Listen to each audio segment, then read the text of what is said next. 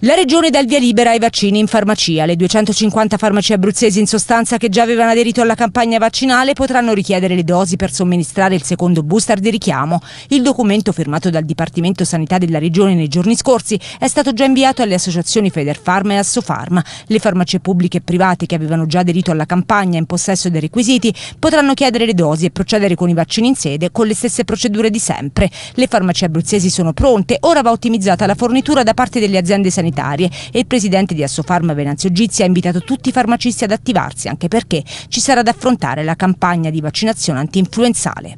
Come eh, nel passato eh, la procedura eh, da seguire varia da regione a regione, anche in Abruzzo eh, la regione ha dato disposizioni perché le farmacie potessero scendere in campo, i cittadini potranno prenotarsi presso le farmacie e poi ci sarà un'organizzazione fra le farmacie e le aziende sanitarie la distribuzione dei vaccini perché il prodotto sanitario possa essere distribuito nel migliore dei modi su tutto il territorio regionale. È un'ulteriore dimostrazione del presidio farmaceutico quale essenziale, indispensabile sul territorio perché ci possa essere una salute, una distribuzione della salute di vicinato, vicina cittadini, con un professionista della salute che è il farmacista e che raccoglie la massima fiducia da parte dei cittadini.